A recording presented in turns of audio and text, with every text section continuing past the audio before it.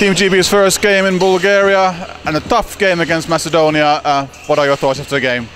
I think that um, we started off a little tense, but once we got into it, you know, we started to show what we can do, and uh, we're just going to take the positives from this game and try and you know analyze it, see what we can do better for the next game. After the halftime break, you seem to come up with more intensity on the defense and offense both. Yeah, I think we I think we need to start the game like that because once we start playing intense defense, we can go up, we can get steals. So that's how we're going to play. And Macedonia, they were not a very tall team, but they were fast.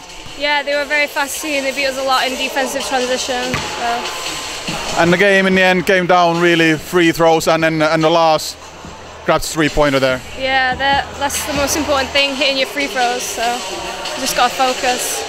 And not much time to dwell on this one. Uh, next game tomorrow. No, we don't think about this game. We think about tomorrow's game and beating Bulgaria. So. GB's first game over here in uh, Bulgaria against Macedonia. What are your thoughts after the tight game here tonight? Uh, I think it's one that we should have taken. I think that was a game where it was in our control. We did great to ride a wave early on. Then uh, they came back and fought hard. They won the last five minutes 14 7, so credit to them. We out rebounded, we reduced our turnovers, we got where we needed to get to. Couldn't finish under the basket. We had 80 shots and uh, only con- converted 21 of them. So it's, uh, I think it's in our hands.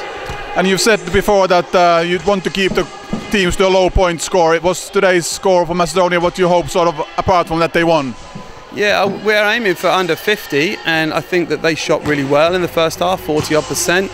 Um, we didn't, and then we didn't punish them when we needed to punish them, and that's something that we're young and we're working on that, and I think we will come back. I think we'll play better tomorrow, and it's great that we've got another game tomorrow to get it out of our system.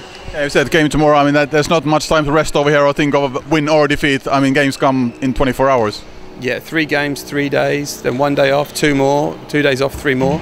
And to be honest, that's the best thing for us. So we'll look forward to have a short practice tomorrow. We'll get ready for Bulgaria. We'll be uh, we'll be there, and I'm sure we'll be fighting hard.